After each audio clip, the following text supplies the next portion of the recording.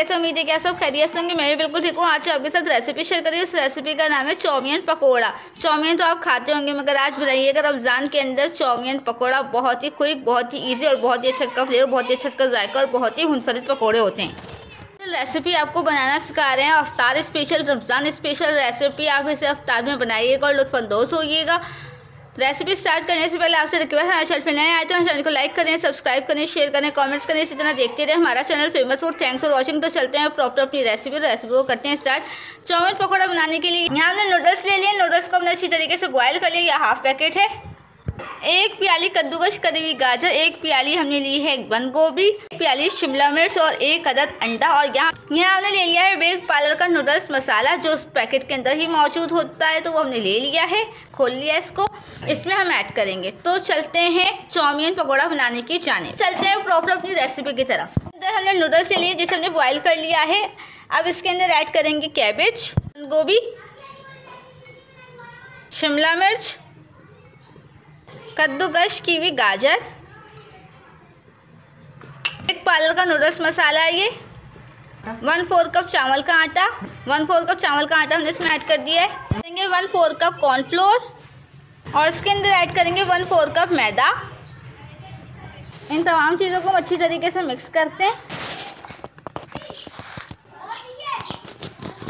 हल्के से अच्छी तरीके से मिक्स कर लिया। आखिर में हम ऐड करेंगे एक अदद अंडा। इस्तेमाल बिल्कुल भी नहीं करेंगे क्योंकि वेजिटेबल्स में खुद पानी मौजूद होता है। बाकी जो कसर होगी, वो हम अंडा डाला है, इस वजह से ये अच्छी तरीके से बिल्कुल एडजस्ट हो जाएगा। इसका एक अंडे की वजह से अच्छी तरीके से बॉन्डिंग हो जाएगी, सिर्फ़ पानी डालने की ज़रूरत नहीं है इसके अंदर। ये देख सकते हैं कितने अच्छे पकोड़ों का मिक्सचर रेडी हो रहा है इसका। मज़ेदार होते हैं पकोड़े तो आपने खाए होंगे। आलू के, पालक के, टमाटर के, गोभी के, भिंडी के। इतने सारे पकोड़ों की लिस्ट एक वीडियो बनानी पड़ेगी, मगर मैं अभी चाउमीन पकोड़ों की बात कर रही हूँ। उन पकोड़ों का बैटर रेडी हो चुका है, इसके हम बनाएँगे पकोड़े। पकोड़ा बनाने के लिए हमने कढ़ाई लिया कढ़ाई के अंदर हमने ऑयल डाल दिया हसबे ज़रूरत अब ऑयल अच्छी तरीके से गर्म हो जाएगा तो हम इसके अंदर ऐड कर देंगे chowmein pakora. Ramzan special recipe आप इसे ज़रूर ट्राई कीजिएगा। बहुत ही मुनफरद पकोड़े होते हैं और आजकल के दौर के अंदर चाउमिन नूडल्स मैक्रोनी ये सब ज़्यादा खाना पसंद करते हैं। तो उसी हिसाब से हमने सोचा कि आपके लिए लेके आते हैं चाउमिन पकोड़े की रेसिपी जो आपके अफ्तार को मज़ीद चार चाँद लगाएगी और रौनक बख्शेगी आपके दस्तरखान को। अब इसके अंदर ऐड करेंगे चाउमीन पकौड़ा। इसको किसी भी शेप में बना सकते हैं। इसका आपको जो अच्छा लगे शेप इसको दे सकते हैं पकौड़ों का।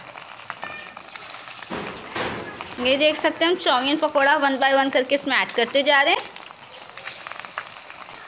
बहुत ही हेल्दी बहुत ही अच्छे, बहुत ही जायकेदार और बहुत ही इनके अंदर खा रहे होते हैं या रमज़ानों में खा रहे होते हैं तो रमज़ान की मेन्यू में इसको भी शामिल कीजिएगा। यहाँ देख सकते हैं कि चाउमीन पकौड़ों को हमने ऑयल के अंदर ऐड कर दिया है। इससे एक तरफ़ से ये कुक हो जाएँगे तो फिर इसकी साइड को हम कर देंगे चेंज क्योंकि तमाम चीज़ इसमें कुक हुई हुई है सिर्फ़ इसे हमें गोल्डन ब्राउन डीप फ्राई करना है पकौड़ों को। चाउमीन पकौड़ों की हम साइडों को कर रहे हैं। चेंज। ये एक साइड से कुक हो चुके हैं। बेहतरीन सा कलर आ चुका है।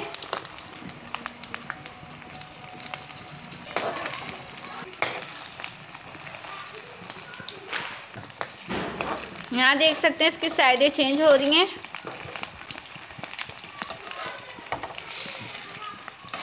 बेहतरीन सा कलर आ चुका है एक साइड से।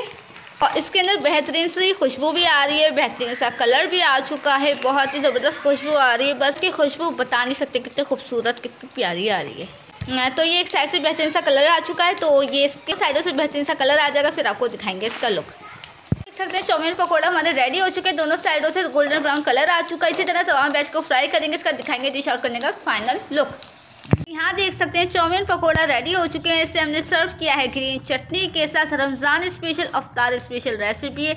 आप इसे ज़रूर बनाइएगा लुत्फानंदोज़ होइएगा। इसको तोड़ के दिखाऊँगी।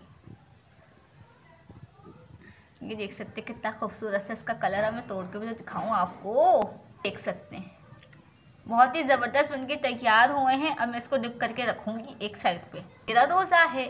तो ये देखें बेचारी नाजुक सूरत हाल है इसकी। मैं डिप करूँगी सिर्फ़। और उसको एक प्लेट के अंदर ट्रांसफ़र करूँगी यहाँ देख सकते हैं कि हमारे चाउमीन पकौड़ा रेडी हो चुके हैं। सबने सर्व किया है ग्रीन चटनी के साथ मैंने आपको तोड़ के भी दिखा दिया और ग्रीन चटनी के अंदर डिप करके भी दिखा दिया। तो भाई, इसका फ्लेवर का पता नहीं, वैसे खुशबू वगैरह बहुत ही ज़बरदस्त आ रही है और प्रेजेंटेशन तो कमाल की की है। अफ्तारी की बात पता चलेगा कि कैसे बने रेसिपी अच्छी लगे तो रेसिपी को लाइक करें सब्सक्राइब करें शेयर करें कमेंट्स करें। इसी तरह देखते रहे हमारा channel famous food thanks for watching